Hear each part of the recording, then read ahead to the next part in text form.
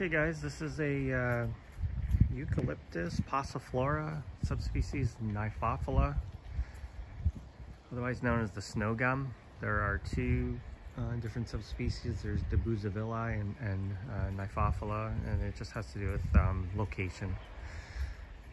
They're uh, found at higher elevations in Australia. I think one of them comes from Victoria. I've, I've actually been to Australia. Um,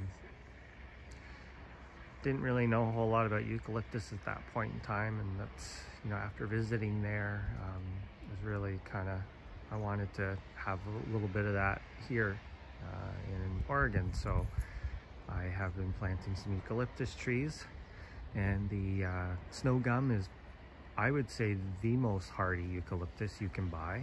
Um, these have experienced quite cold weather.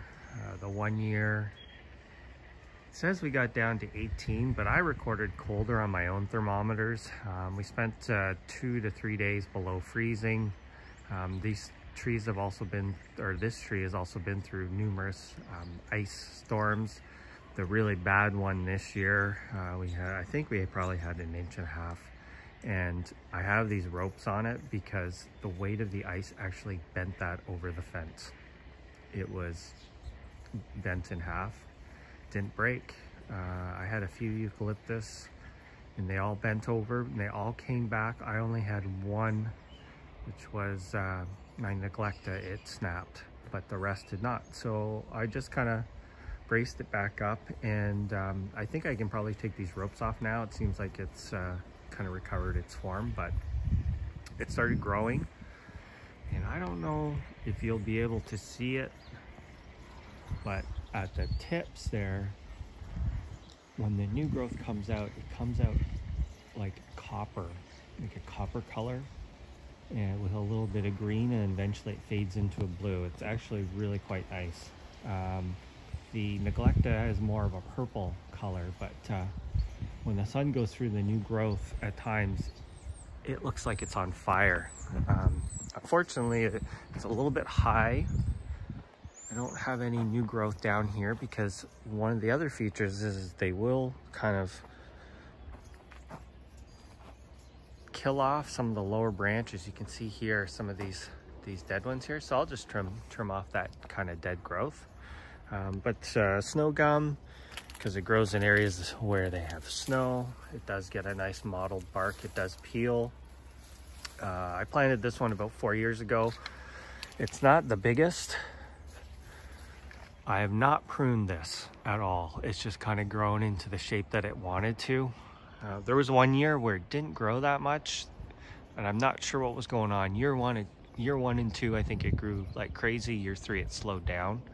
And then this year it's starting to go again. So big ones uh, around here are really quite nice. And I'm gonna take you around and I'll show you. I actually have two more. So with eucalyptus, you don't want to buy any that are big. Buy them really small. Um, they get root bound.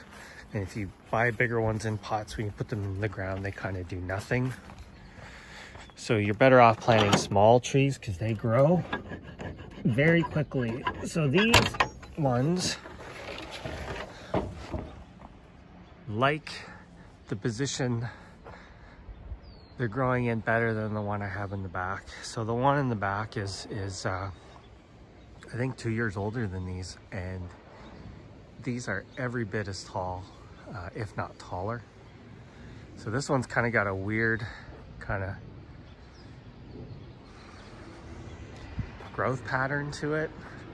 Very weepy. But here's some new growth right here. You can kind of see the coppery color I was talking about. Get up here. So these ones are in very dry soil on a slope, well draining. So I definitely think they prefer that. The other one I have is in more of a, a clay spot where it doesn't quite drain as well. And you can see, I don't know if these are, yeah, those are flowers starting to form. But look at the size of these leaves. So it's a nice evergreen tree.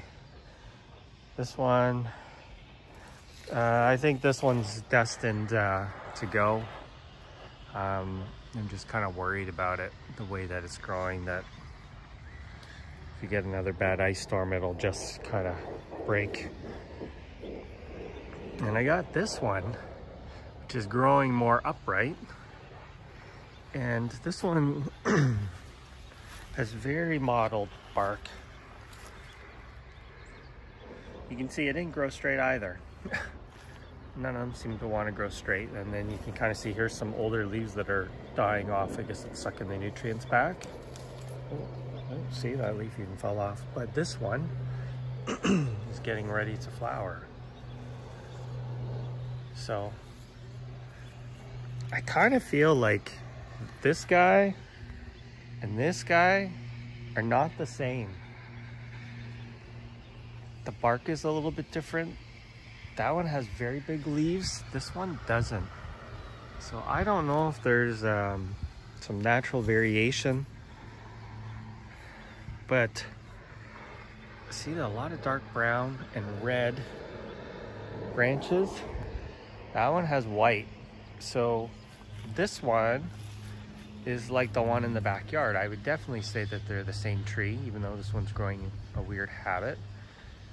But it's got the same color bark, same color of branches, whereas this one is red.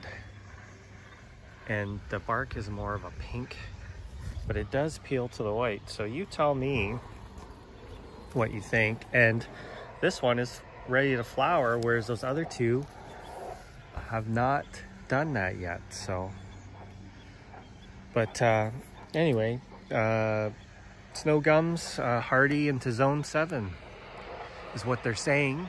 I'm in 8B um, and I told you they, they, they have experienced cold and snow and ice and absolutely no damage. I've never seen damage, um, never seen anything, uh, the tips die back or anything like that. The only thing is on, on this one kind of at the top, it's missing leaves and that was actually from wind.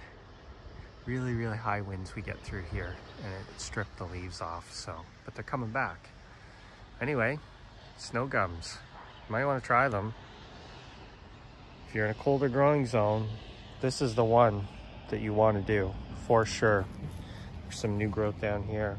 But like, look at the size of these. Huge leaves on this one. I